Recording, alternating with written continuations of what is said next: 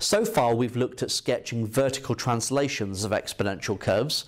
We're now going to have vertical translations but also horizontal ones as well. So in this example we're going to have y equals 2 to the x minus 1 plus 3.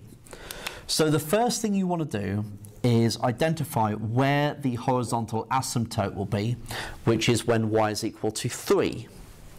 So that is the first thing I want to draw on. Now, the fact that we've got x minus 1, all that means is that it's been translated one unit to the right. So we still have an exponential curve. It'll still look very much like we used to. We just need to work out where it crosses the y-axis, which is when x is 0.